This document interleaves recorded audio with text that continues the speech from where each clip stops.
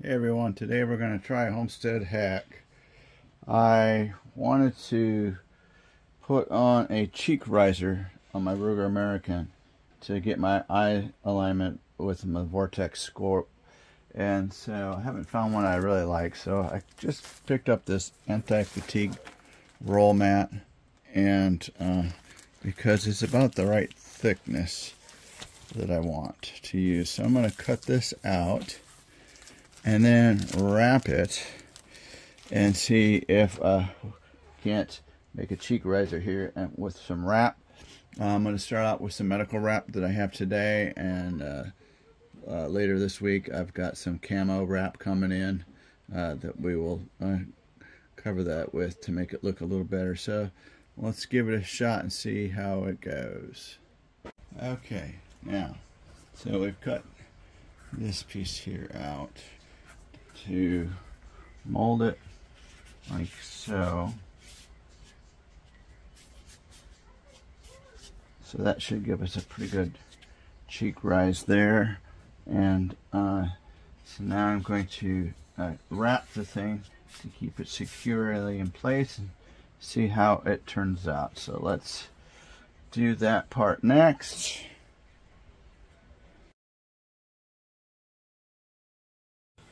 Okay, so we're going to start this wrap process. I'm trying to get that in place where I need it. And this stuff is kind of stretchy. So we're going to let it stretch out. And I think we'll go in and cut around that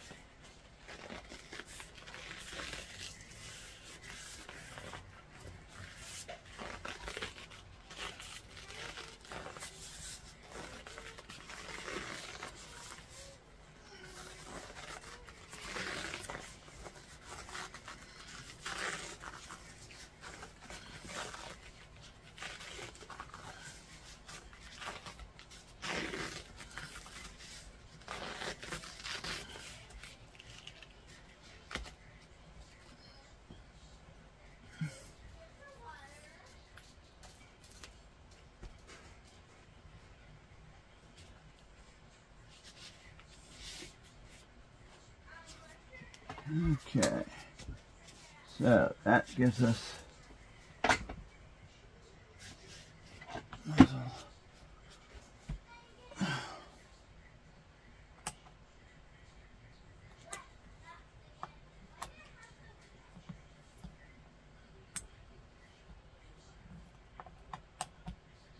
This stuff is pretty stretchy, so let's see if we can just stretch it over. And expose our sling. That should work. Now when I get my camo wrap, I'll be able to go in and that get me about a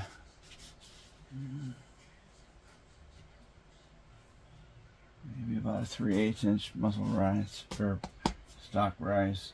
So take a sight down my scope and see how that fits.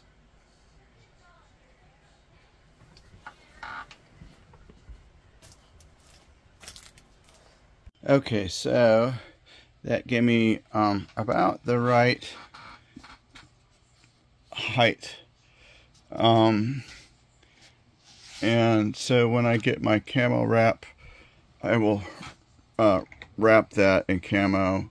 Uh, I sighted line sighted down my scope with the cheek pad uh, on there and that's about the right height. So um, this roll here uh, that I got at um, Harbor Freight cost me like 10 11 bucks. And so I've got most of it left. I just needed one little piece that I cut out. Um, and then put that on here shaped it to how I wanted it, the right size and shape uh, that I was looking for.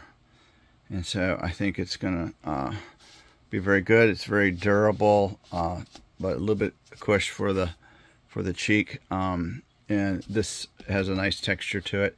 So uh, the camo cling that I got coming, uh, we'll update the video when that comes in, but I'm happy with it so far. Uh, so that gives me a little bit of the cheek rise and a little bit something softer than this uh, polymer stock. So uh, our little uh, homestead hack seems to have um, worked. So um, we'll give it a good wrap and take it out to the range and let you know um, how well it worked for us. All right, we got the uh, camouflage wrap on now. So the uh, stock turned out very good. I like this texture. Uh, it looks good on the green uh, stock. To balance it out, we put some out on the uh, distal scope. And I think that looks well together. Uh, it works good. And it turned out really good. So I'm happy with our little homestead hack here and how it turned out. Uh, my uh, eye alignment for this uh, Diamondback Vortex scope uh, turned out just great. and catch us again as we have some video coming out here about the different ammo we shot through the Ruger American 6.5 Creedmoor and what turned out best. So like and subscribe for videos like this and others. Uh, and we hope you enjoyed this video and how my Ruger American Predators and 6.5 Creedmoor turned out.